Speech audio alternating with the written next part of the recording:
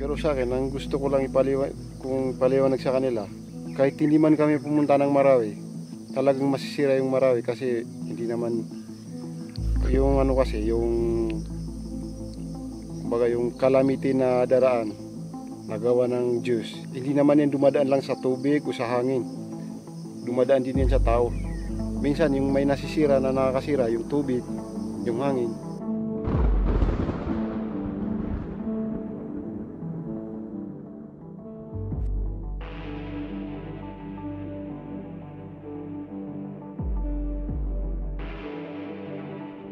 Tsaka pinapakain. Pero mayroon na kami nakita na nasa lubong ng mga ISIS na Christian, tinanong nila, pinatay agad nila. Yun lang ang nakita ko.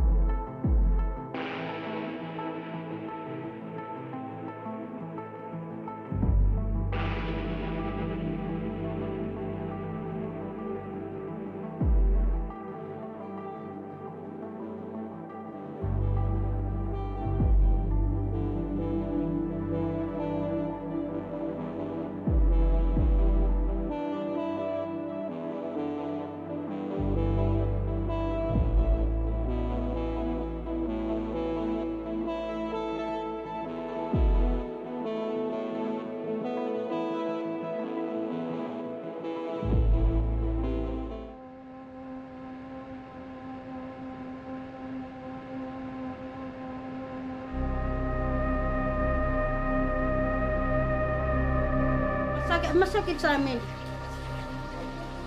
Sa hindi namin pag, pagkabalik doon. Ang nararamdaman namin, saan na kami pupunta kung hindi kami makakauwi doon.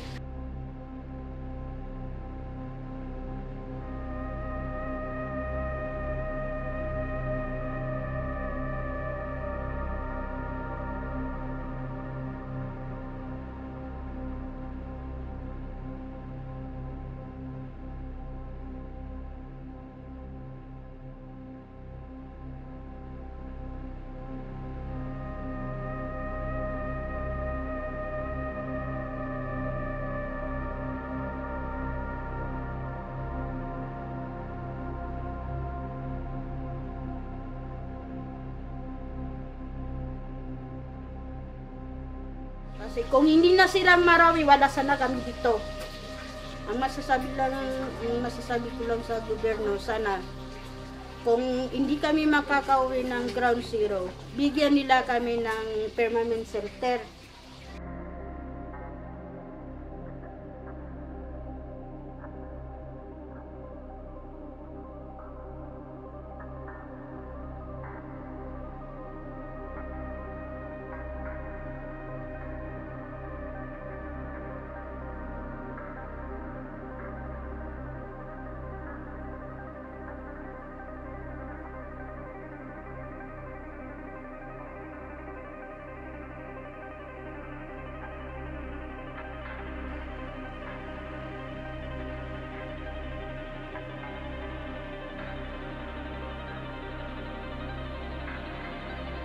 Mahirap ang buhay dito kasi hindi ka makahanap agad ng trabaho.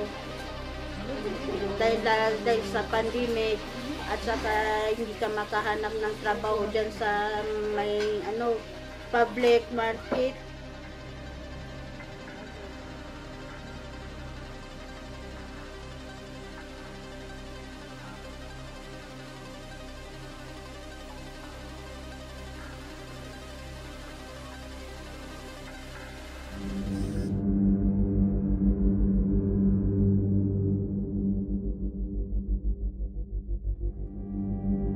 kahit ano yung pinapaliwanag nila dun sa mga meaning ng Quran, yun yung nakukuha namin kasi hindi namin alam yung totoo.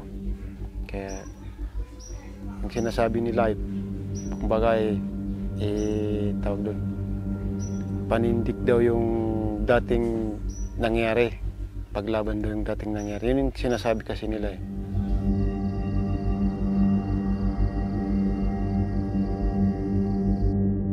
Kasi dati, kung natatandaan niyo nung panahon ng unang Marcialo, eh, mga, yung mga ninuno kasi natin, ang ini inaano nila yung mga matatagal na nangyayari. Yun yung sinasabi kasi nila na mga paniwal, paliwanag sa mga kabataan na ito daw yung ginawa dati ng mga ano.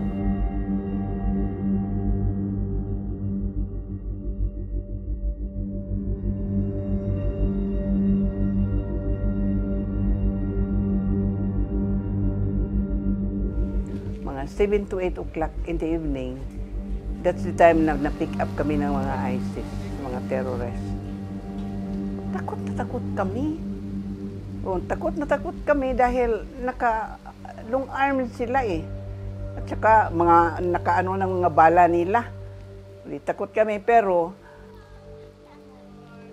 wala walang bilangan na ng araw at the time. Basta ang pinaka-importante sa amin na importante sa amin nagdasal, nagdasal na lang kami. Yun lang yun ang ano namin.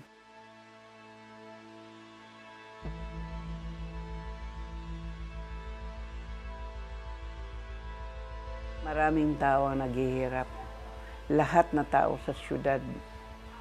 Kahit na siguro kamag-anak nila, naghirap na rin sa pangyayari. Pero at least napatawad. Kung ako-ako lang ang tanungin, napatawad ko na sila. Iyan din ang pinipray ko palagi.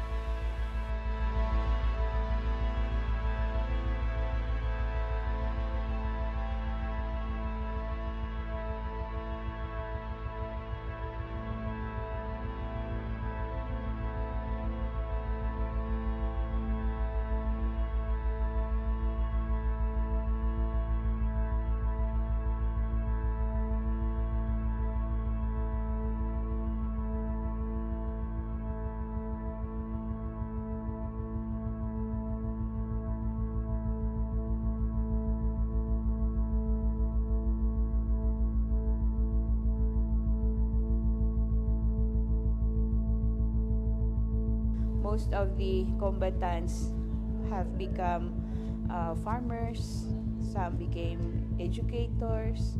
Now that the gasoline, the diesel's price is getting higher, it makes us worried. Uh, one cannot, some of the motorcycle drivers had sold their uh, motorcycle because they cannot afford the diesel. So, of course, when there's no livelihood, the tendency is some commits crime.